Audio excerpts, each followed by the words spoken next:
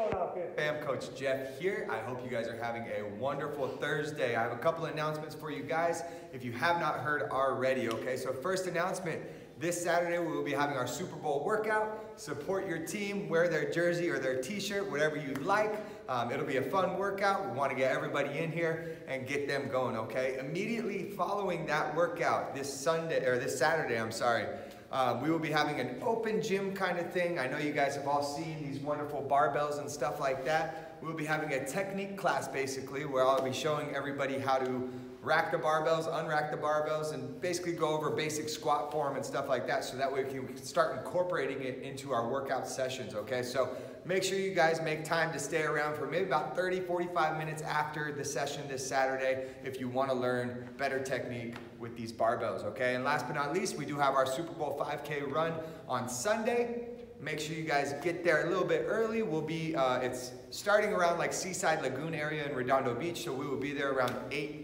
8.15. Meet up. Please make sure you wear your hard work pays off blue t-shirt from the challenge if you do have it. If not, wear something else that is uh, FTF boot camp related so that way we can all be a good team out there. Hope you guys are having a great day. If you guys have any questions, please let me know.